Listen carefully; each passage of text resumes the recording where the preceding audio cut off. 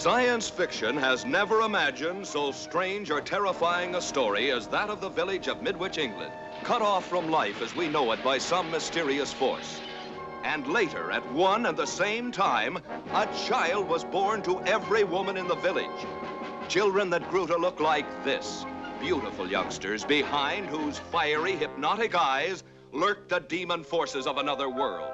They're not human. They ought to be destroyed. Forces put to such sinister use that it became a national emergency. We are gathered here as advisors, as scientists, as government experts. Have we established anything about the origins of these children? There is a possibility of the transmission of energy. Let me get this straight.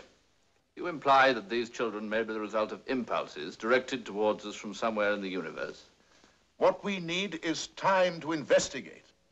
Are you aware of life on another planet?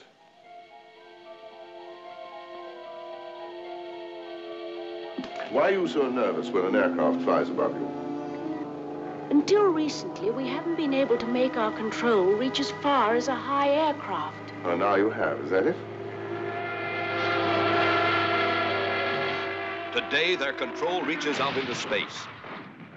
Tomorrow, will it girdle the globe? There's nothing you can do to stop us. Leave us alone.